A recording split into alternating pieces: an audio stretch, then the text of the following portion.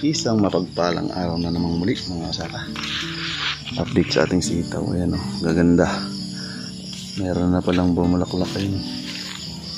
Tayo ngayon ay ah, kuha tayo ng mga gulay.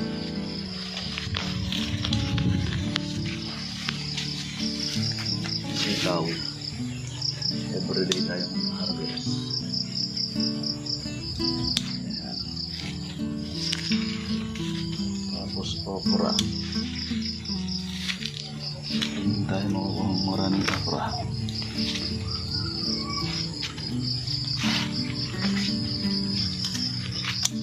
Actually, doon sa kabilang ng mga kasaka. Ay ah, marami tayong nakukuha. Nakakabenta na nga tayo dun eh. Yan.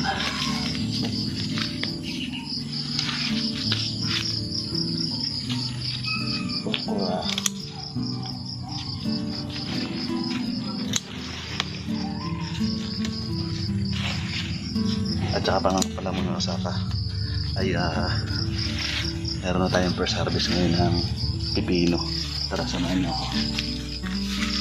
First harvest tayo ng pipino.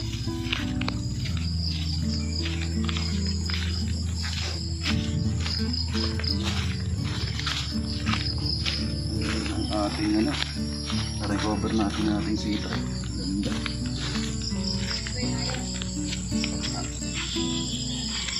Salamat ah.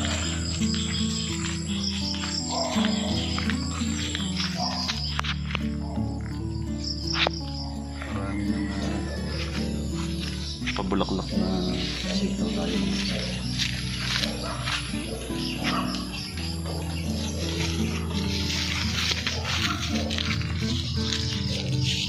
Tsaka yun.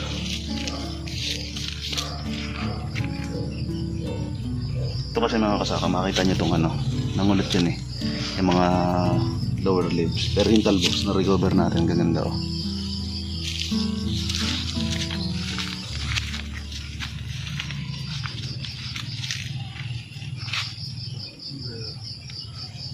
Ikaw na, una ko nakita. Ikaw ang huli pang bumulaklak.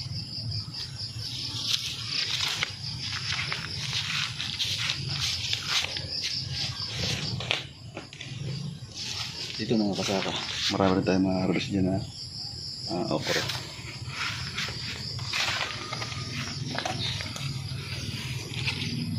Yan, mga kas- kasaka.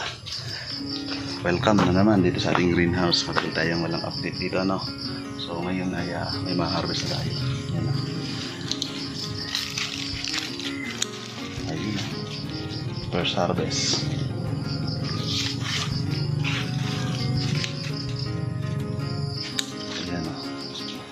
Tapos may mga harvest din tayong ampalaya. Yung iba nga lang.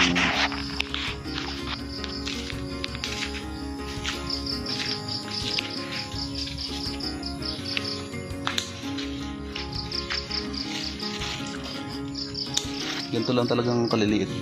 Pangkaraniwan yung kanya na laki. Ito late na ito na ito pwede na to. Magulang na to. Yung mga ganyan. ah saka iintay na naman tayong magsilaki. At saka pala mga kasaka malalaki na rin yung hindi ko alam kung broccoli to pero patingin ko repolyo to. Ayan. Tapos ang palaya umiilaw na yung iba. Huwag na natin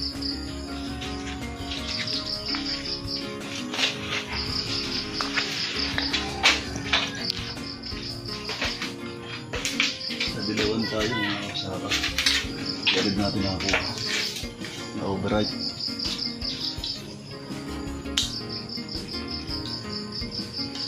Pag hindi talaga napopollinate mga kasaka yan. Nakakabot. Ito lang completion.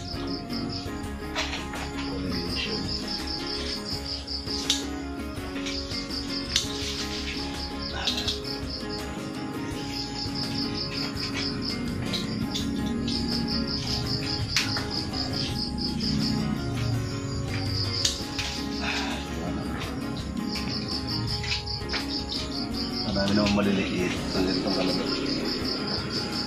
Antayin natin lumaki. Tapos, ito. Yung natin. Punggos infection. Ayan. So marami tayong iaayos na sanga ng ano, pipino mama.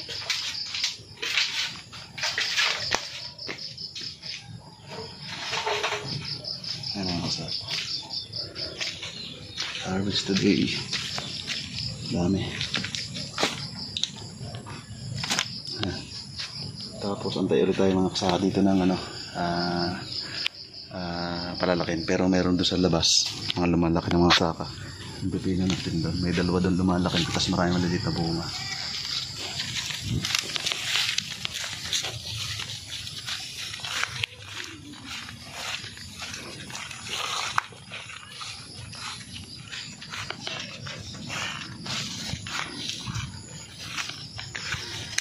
Ito mga kasama.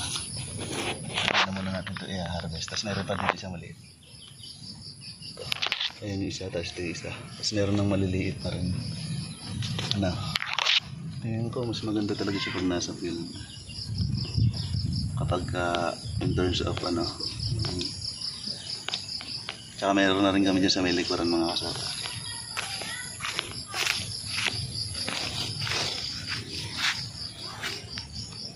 Ito yung mga bunga ng mga talong.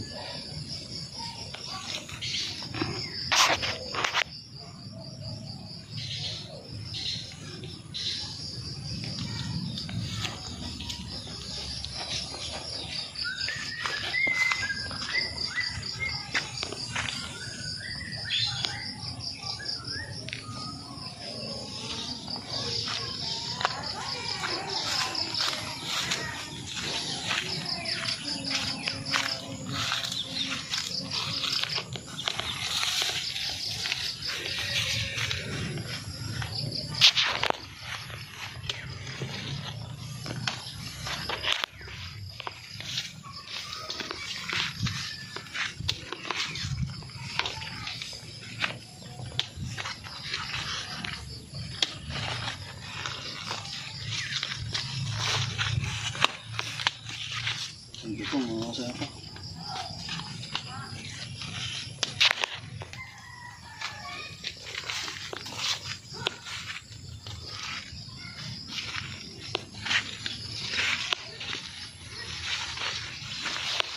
Ito.